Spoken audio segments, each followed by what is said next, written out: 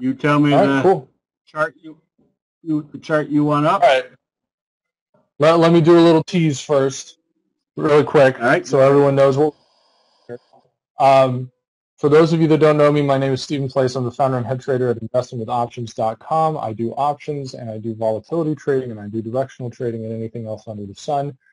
Today we're going to talk about a desert island trade, and it's basically uh, the idea if you have to go to an island, um, you know, what trade would you put on?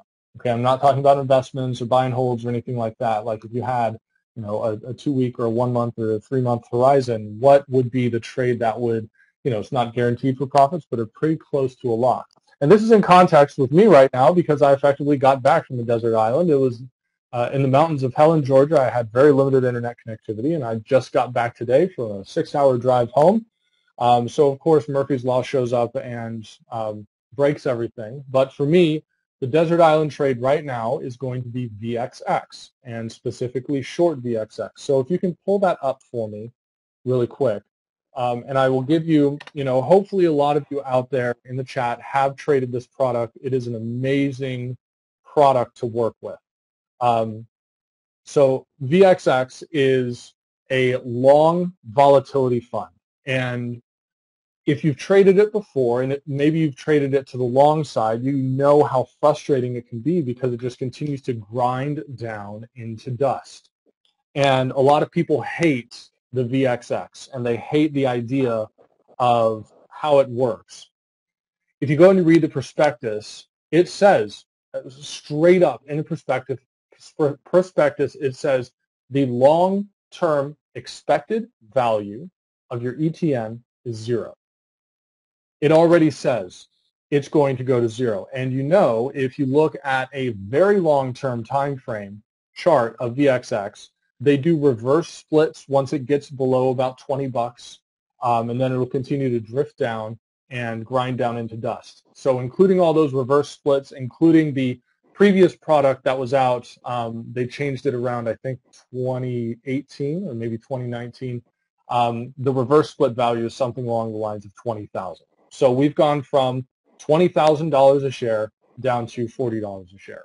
A lot of people don't like that idea, but you have to understand that this is exactly how this index is supposed to trade. Right? You will have periods of grinding price movement to the downside coupled with um, very, very scary, massive kinds of moves to the upside.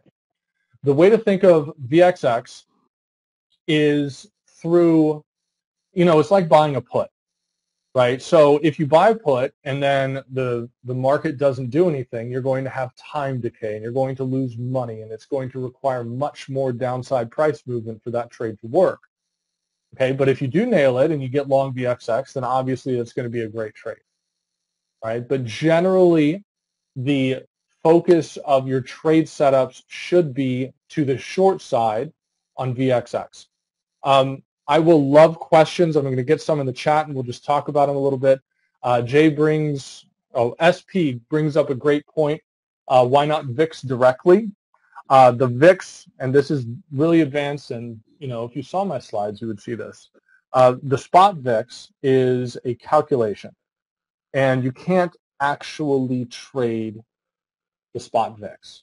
You can trade VIX futures and VIX options, but those don't trade off of spot. They trade based off of a forward price.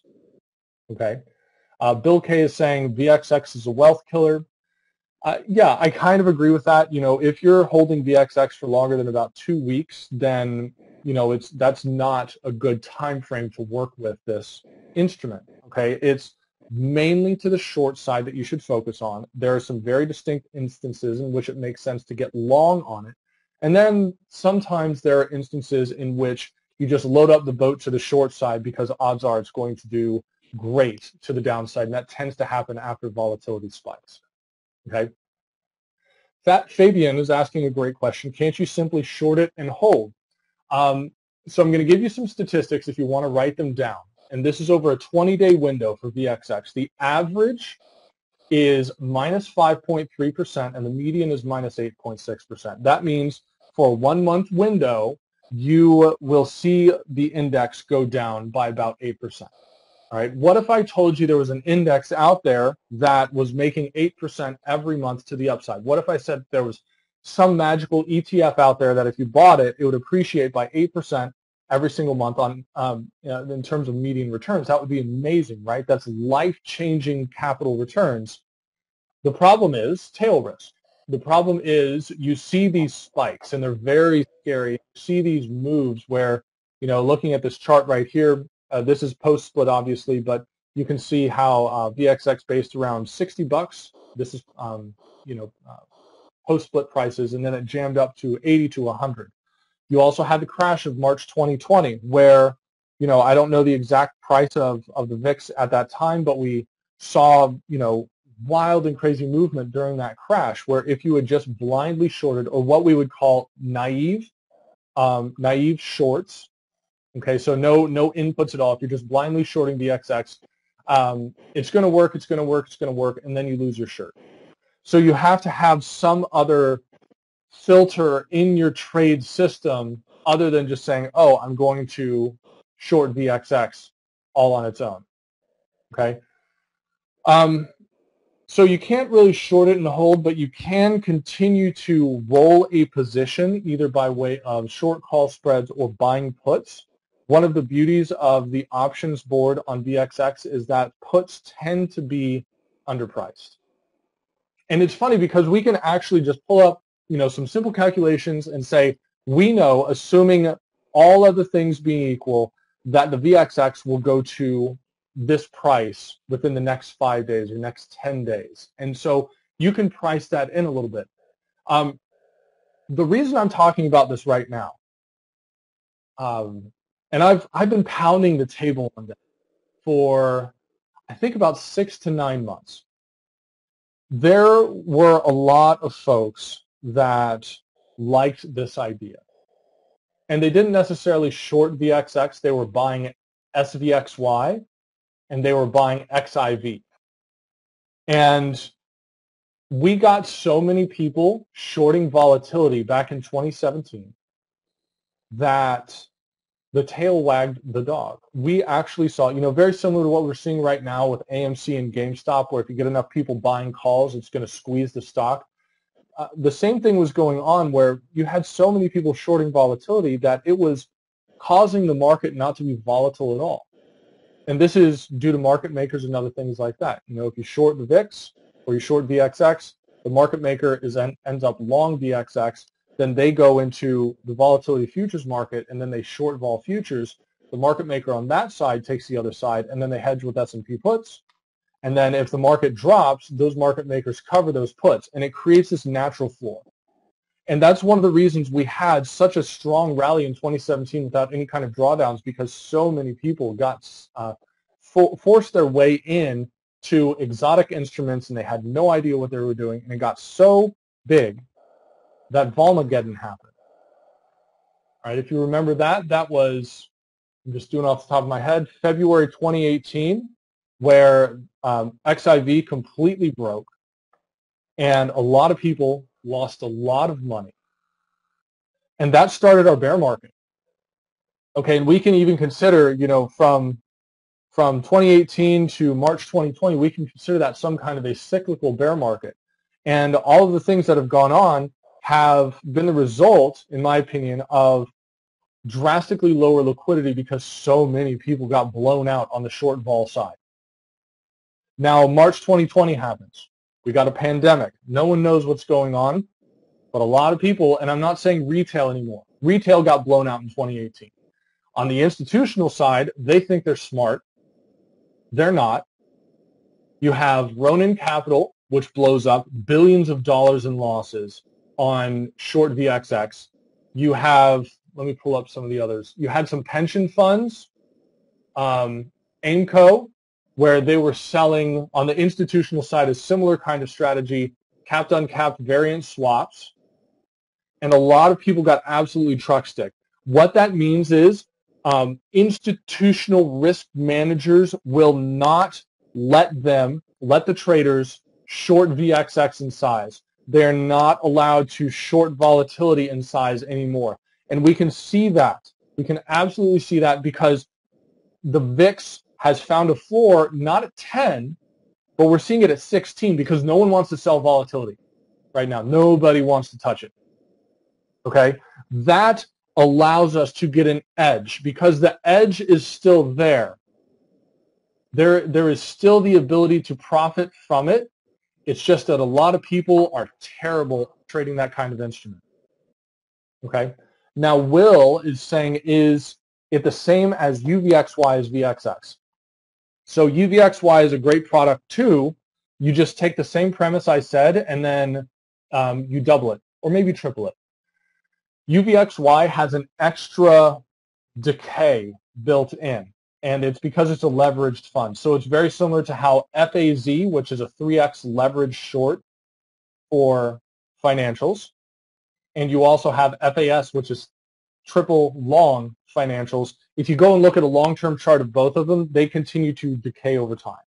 So UVXY is very similar. And, you know, Steve just pulled up a chart of UVXY, and I'm, this is post-split again, but, you know, you had that shakeout uh, a couple months ago where UVXY traded to 60 and now it's trading at 30, right? You go buy some puts or you short this, it's, it's, I don't want to say easy money. I don't want to jinx it, but it is simple money. Okay, it, it is once you understand the mechanics of how these work, when to get in and when to step aside gracefully, then you're going to make money. And there are other opportunities where, yes, you can get long VXX and UVXY for a trade. You just need the stars to align. It is possible to generate sustainable, stress-free profits with volatility products, especially to the short side. Now, Steve, if you could, I don't know if it's possible for you, but I'd like you to open up a browser window. Hopefully you don't have anything embarrassing on it, but I'd like to take you to vixcentral.com. And if all of you, if you have a couple monitors like me, um, you can pull it up alongside. And what you will see with that is the secret sauce. Okay. Um, while we get that set up, DJ1 is asking, what if the Fed starts raising rates for the short term, won't this spike up?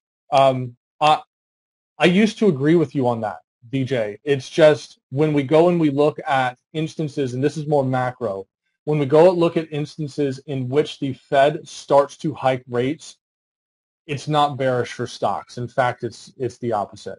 Okay, uh, so Steve's got this pulled up now, and just scroll down to that chart a little bit.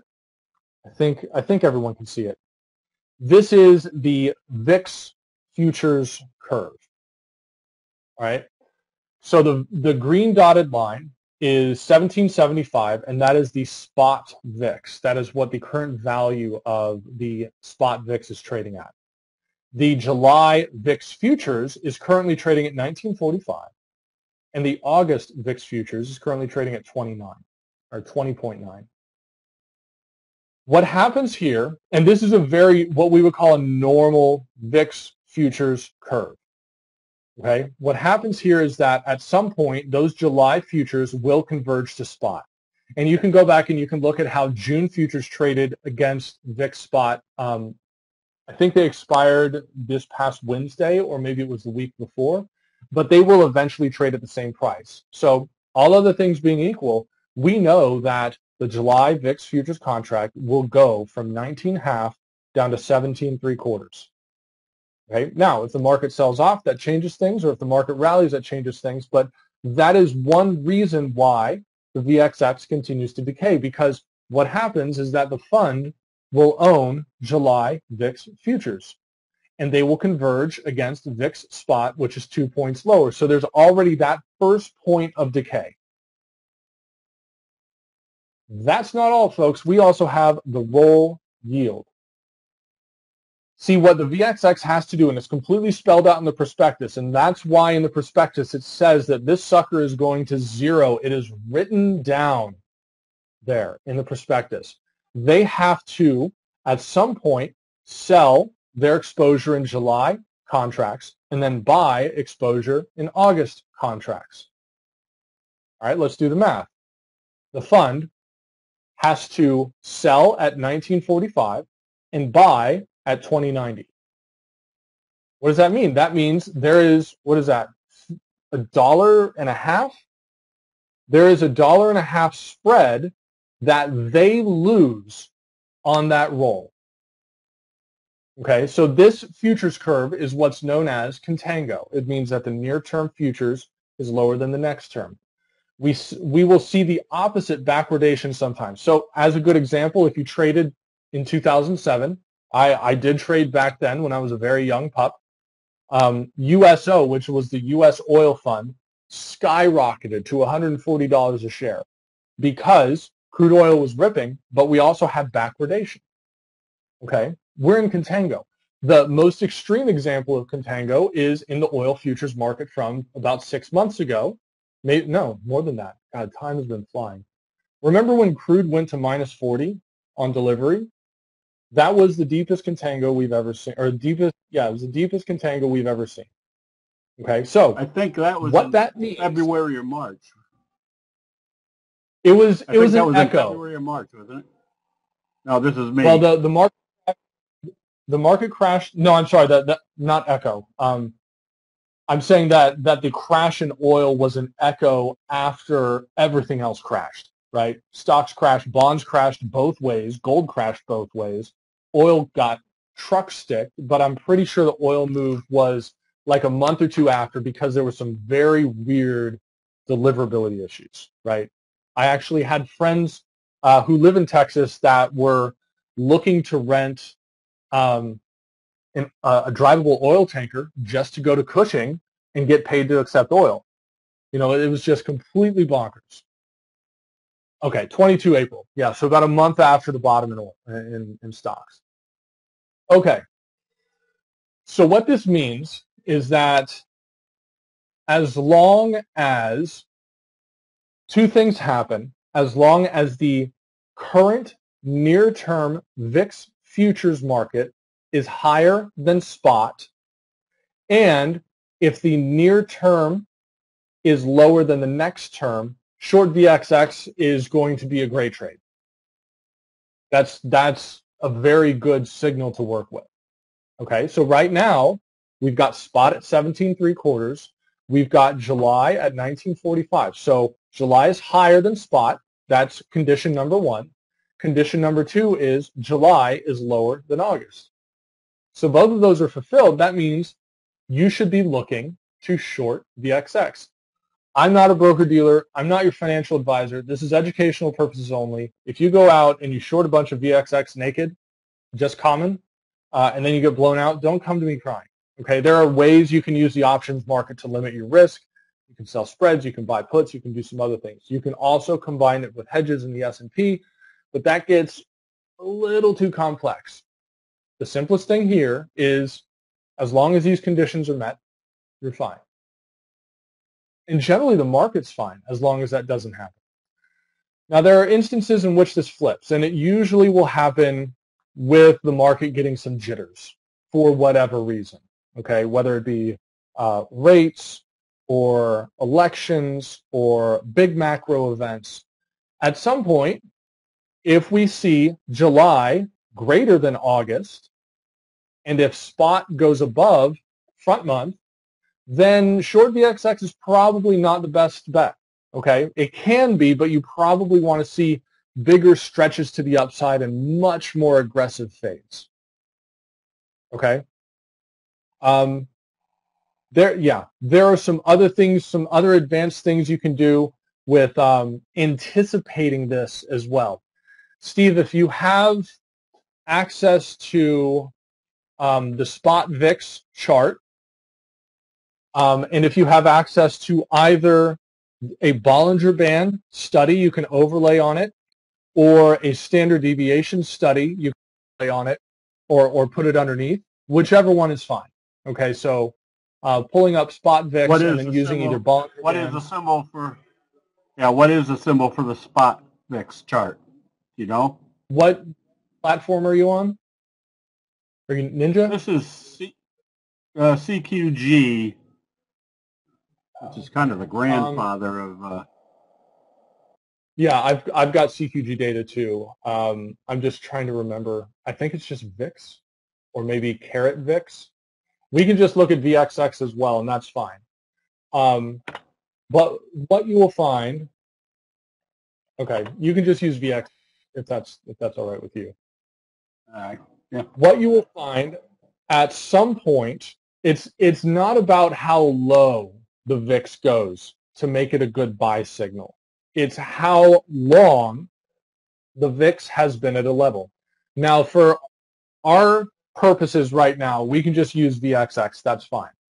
And what you will find is that if the VXX stops going lower and if volatility, and that, that just means price ranges start to compress. So instead of seeing a continued drift lower, if it just stays sideways and we continue to see the same prices popping up, with that, you will see the standard deviation of it go lower, and you will see the Bollinger Bands really tighten in.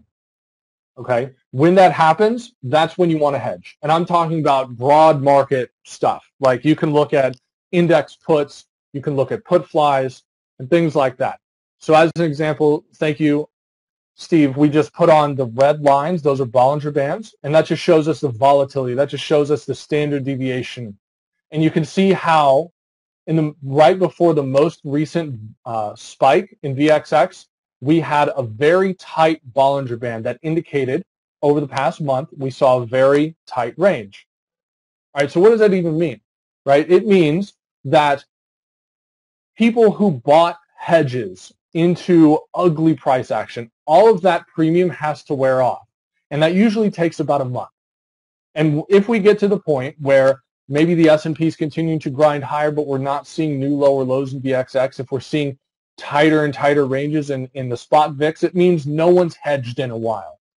We haven't had any kind of spooky price action over the past month to encourage people and entice people to panic a little bit and buy hedges. Once we get to that point, that's the best time to buy hedges. And that is quantitatively proven. All right, so if we're looking at this right now, is it the best time to go out and buy a bunch of index hedges? Not within this framework. But if you give it a week or maybe two weeks, and if those Bollinger Bands really tighten in, then you can start looking at overlaying some VXX calls, or you could look at VIX call spreads or things like that. Okay, that's one of the very good signals because a lot of people are like, when do I hedge? Because if I hedge, I'm always hedging too early and then the market gets crushed. This is a very good indicator to use. Okay. Um, are there any questions about this? And I'll, I'll go ahead and just, I'll talk about a course that goes over this in just a little bit, but I just want to make sure we get all the questions knocked out. Uh, Will S. is saying um, the VXX will reverse split the lower it goes. Yeah, once it gets about, I'm pretty sure sub 20 in the prospectus. Once it gets sub 20, then um, they will say, all right, it's time for a reverse split. Here's when we're going to do it. And then it's pretty seamless. Okay. Uh, AJ is saying it's a Bollinger Band breakout. It's it's not necessarily about strong movement above it. And AJ, honestly, I I think that that's not a bad idea to test. Um, where if you get enough vol compression and then a Bollinger Band breakout, that might be something to look at, especially if you see the VIX futures market flip into backwardation. So that that could be a decent timing indicator. Um, SP is asking, are you holding the hedges with VXX or VIX for less than two weeks? Yeah, with spot VIX you can do you can hold a little bit longer, but these are very good trading vehicles. Okay, so with VXX, you know, you can look at buying calls, you can do straddles. Um, so if you get explosive movement, then you just trail a stop. And so if you know if it's a one-off event like we saw about a month and a half ago, then you just take your profits and you move on. If we see something get a little bit weird, like we did March 2020, then you can just trail a stop and maybe you get really lucky on, on a move. Um, I wouldn't look at I wouldn't look at UVXY as a good hedging instrument because you can just do the same thing in VXX calls. Um, if you are if you're looking at UVXY as a hedging instrument because you've got too much size on and everything else, you probably just need to cut size. Okay. Um, Gary's asking what was the percentage contango on um, VIX Central. Let me just hop over that. We don't have to switch over. Um, the percentage contango is just the um, the difference between the two contracts. So right now in July we're at 19 half. In August that's 2090. So 2090 divided minus 19 half divided by 19 half. That's how they get 7%. You can also, Steve, if you can, there's a contango tab up on top, and that'll show you how often we are in contango. So it's going to be above that chart. So if you just scroll up a little bit from that chart, um, yeah, you can go to contango right there. And what you will see is that the market tends to be in contango most of the time. There are um, there are instances in which, you know, like in 2020, we had a, a sustained period of backwardation, which makes perfect sense because it was the apocalypse. and once that went away, it became a very good time to sell vol. Um, so I saw a really great question. Uh, DDC is asking, are you always going to get a breakout once the bands contract? It's not guaranteed. It's just if you're looking for that tail risk, if you're looking for the, the explosive movement in the VIX and VXX, it is most likely preceded by realized vol contraction of the spot VIX. And that's the, that's the fancy way of saying, hey, guess what? It's been in a range and it hasn't moved in a while. That means a lot of people are under hedged and we're about to see something spooky happen in the market. Is it guaranteed? No, but usually that's the timing signal to work with. And W2JC is saying, don't forget that the long put will be losing value all the time.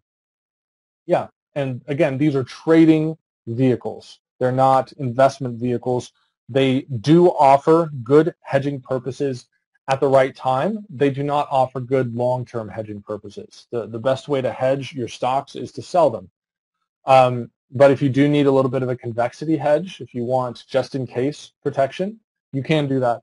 Um, but generally, again, a way to continue to get extra yield out of the market right now is being bearishly biased short or being bearishly biased these volatility products until proven otherwise. Okay. Um, Didi's asking, do you have a general percentage of the time? I, I have to pull up the PDF. Um, someone someone smarter than me did the work on the back testing for that, uh, but the PDF is out there. So if I, I think that's pretty much covers it. I do have a course for this. If you do want to go down the rabbit hole on this, I talk about. Um, uh, I think we've got four different trade strategies in this. You've got the grind, the calm before the storm, the SHTF fade, and then the flip. And those are my four core strategies with trading VXX. It's all within a trading system that I have. It's 10 videos with four trading systems. Can anyone guess what SHTF means for that? um, but if you're interested, the original price is 149. Current price is 97. Uh, to get access to it, I'll just put it in the chat really quick. Investingwithoptions.com forward slash island because it's a it's my desert island trading strategy. And hopefully that link will work for you if you are interested in um, getting access to that course. Uh, just put in your payment information and my system will email you your login information and you'll get access to our course portal and we can go from there.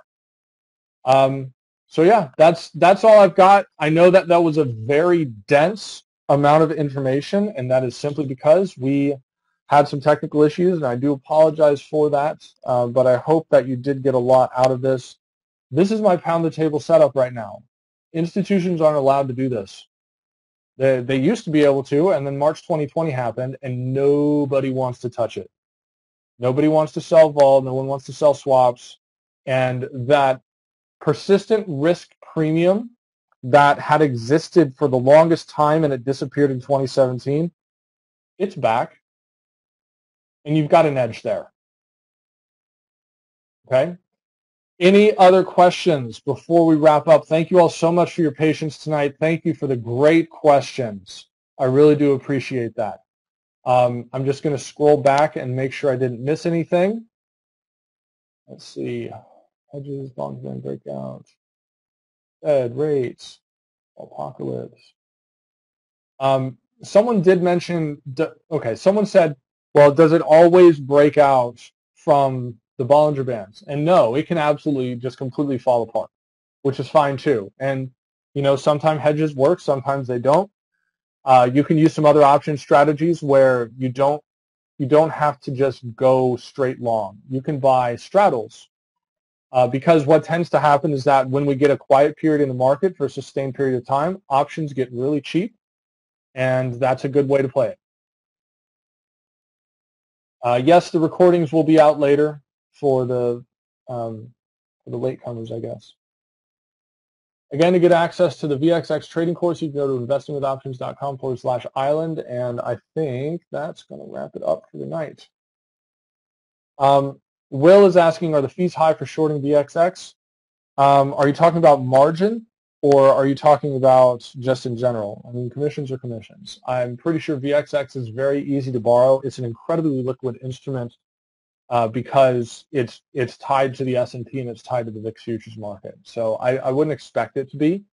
I'm not a huge proponent, you know, unless you're near your screens all the time. I'm not a huge proponent of just shorting common. I don't like shorting stocks straight up, unless you're a trader um, that that can have stops and things like that. Uh, I do think that the options market gives you some very interesting trade structures that have really good risk reward relative to the odds that they're taking. Yeah, the borrowing fees I don't think are a huge deal. Um, you can also look at SVXY, which is the current short and vol ETF. Um, and they work fine. You just have to make sure they're not long-term investment vehicles. That's one of the problems we had in 2017 where everyone thought XIV was just a cash register. Um, but if you're not closing that when things get weird, you're going to get in a lot of trouble. And there's there's still some open lawsuits. I, I've got a huge conspiracy theory on XIV. I think someone took the VIX futures market just over the edge and it completely broke the ETN and it wiped out a lot of people's wealth. Um, so yeah. Um, W2JC is gonna is asking why is the blue line flat for a while and then jumps in January? Um, I'm not sure what blue line you're talking about here, other than Contango, but yeah, that's oh, okay. Got it in January. Um, so I wouldn't worry too much about long-term um, volatility readings like that unless you want to trade long-term. But usually what happens is that the VIX futures market will discount December and it will um, have a higher premium in January. And that's simply because December tends to be quiet, right? Holiday trading. And then January, things get, we, we start to see movement again. Um, there's all sorts of weird futures curves. You know, this this uh, curve is not static. It does change over time. It will flip if things uh, start to sell off aggressively in the market. But um, this is a this is about as normal as you can get. And if you see a curve shape like this, VXX will have a headwind. It will continue to decay over time. And so until proven wrong, you know, it's it's guilty until proven innocent, and you can look for that drift to the downside. Um, DJ's asking now that the Fed suggested they're going to taper in 2023, won't the VIX spike up during the taper tantrum? That's that is an assumption that would require more data before it sees, you know, before it comes to fruition. I, I think that trying, especially with VXX, trying to get long VXX or trying to buy puts based off of Fed expectations out to 2023, you know, that's that's not a trading style that I advocate uh, simply because it's a mishmash of time frames. You know, we're we're traders and we're looking at about a two week time frame for this. So I I love macro and I'll talk macro to death, but we're just we're not there yet. Okay. I think we got this knocked out. Thank you all so much for coming out. And I think that's going to wrap it up for tonight. Steve, if you've got any other comments, um, feel free. Other than that, I think we've covered everything. All right, thank you very much, Steve. Take a look at his uh, his uh, uh, offer because essentially what he's done is just basically discovered how to put the probabilities in your favor based upon historic uh, results. And anytime you can put that into your investment quiver, you're just giving yourself an advantage of not being whipsawed or uh, at the mercy of the market. At least you got the probabilities going in the right direction for you. Steve, thank you very much. Always good information when you when you come on. My pleasure. Thank you so much for having me. All right. All right, everybody. Have a good evening. We will see you bright and early in the chat rooms tomorrow. We'll see you then.